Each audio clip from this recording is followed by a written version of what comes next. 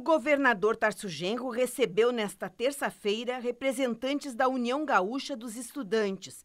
O grupo entregou documento solicitando ao governo a criação de uma comissão para acompanhar a reestruturação do ensino politécnico, com participação dos estudantes. Para nós, nessa questão do ensino politécnico, é um avanço, a gente poder estar discutindo, isso é bom. E tem mais algumas questões das pautas nacionais, que a gente chamou o governador para estar junto com a gente né, que é a questão do menos juros, mais educação. Né? Jogamos para o governador estar com a gente, a negociação da dívida, né, que nós estamos juntos, já que o governador já vem discutindo isso.